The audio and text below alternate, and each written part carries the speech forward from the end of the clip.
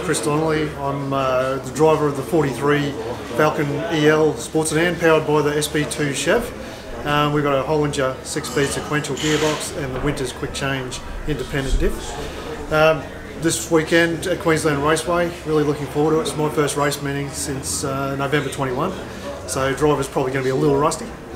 Um, we've made some fairly significant changes to the car since we've last raced it. We've added an ECU to it now to control the spark. Um, so we've got little nice things like shift cut, traction control. So looking forward to using that here. Um, I've got a great team of guys helping me out. Um, so uh, my father does, does a lot of work on it. Tony, Jeremy, um, Shane, of course, from Aston Air Conditioning, that's a big supporter of mine.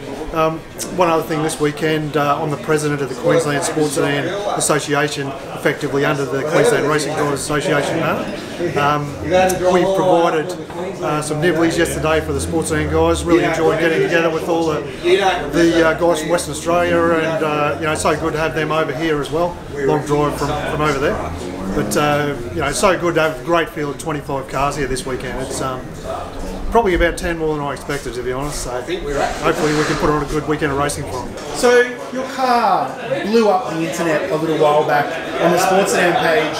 Can you maybe just explain to people that don't understand sports sedans that it's okay to put a different make motor in a, in a Ford, like putting a Holden you know, Chev motor in there. Can you tell us a bit maybe why you did that? People probably want to know why you didn't stick with a Ford power plant. Is there any reason for that? That yeah, at the uh, at the time certainly it was availability of an engine.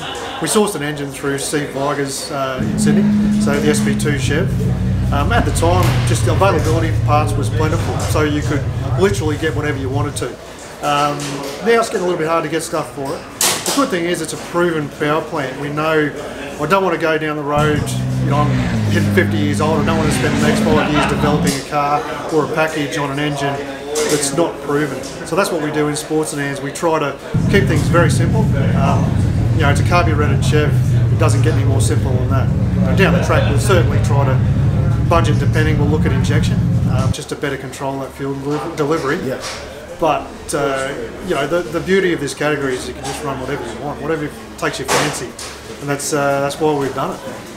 Awesome. Well, it's awesome to see this car out on track. I know a lot of people online are super excited about it. I know the sports sedan guys are excited about it. So thanks for having us in your sunny state and yep. good luck this weekend. Cheers, mate. Really happy to be back at it.